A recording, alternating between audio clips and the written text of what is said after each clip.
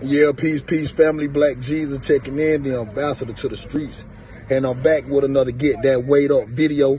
Financial literacy only. You know why I dropped this, man, to uh, um, talk ownership, to talk wealth, man, to talk uh, business, literacy, financial literacy only in these videos. You know what I'm saying? So we're going to put it down like this in this particular video. This particular uh, video right here, we're going to be talking about that the journey is going to be a slow one.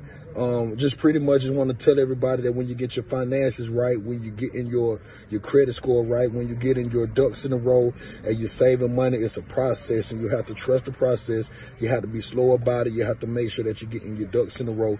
Uh, every um, time you get paid, you want to make sure that you pay your bills on time. Um, uh, you want to make sure that you stay on top of everything. If you got loans or something, if you got credit cards, if you got whatever, to pay that stuff on time. Don't fall behind, because uh, that's how debt starts. So just stay on top of it. And if you are in debt, go and pay it off so you can get set up because, you know what I'm saying, you want to go in surgery with your actual credit score or whatever. So if your credit score not good or it's not looking right, it don't matter, family.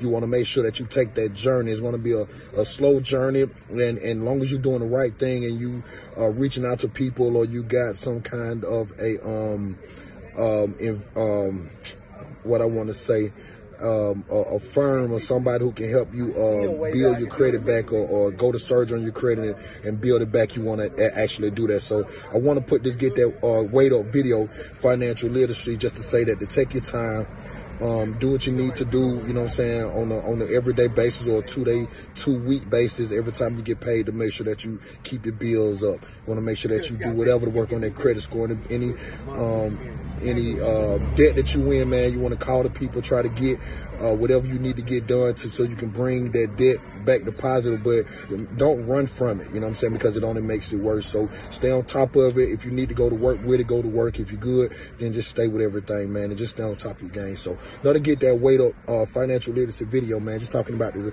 the journey.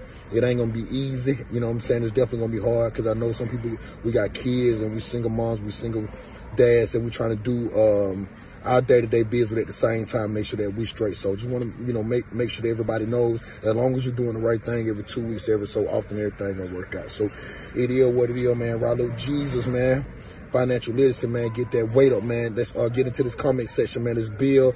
Um, I got financial terminology too that I drop in these. So check me out, man. Make sure you be financial literate. Be about your shit.